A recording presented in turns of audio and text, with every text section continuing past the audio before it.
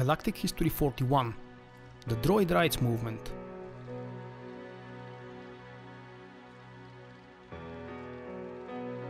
For millennia, droids had filled an important role in Republic society.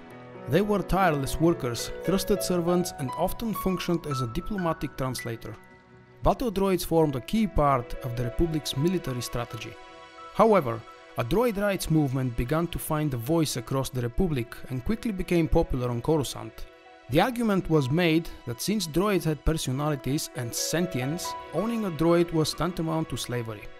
The Galactic Senate dismissed the movement as a mere fad, but after millions of appeals to create a droid rights bill, they were forced to address the issue.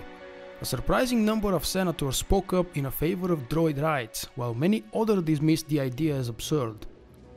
The debate would continue until the Great Droid Revolution stopped the droid rights movement in its tracks.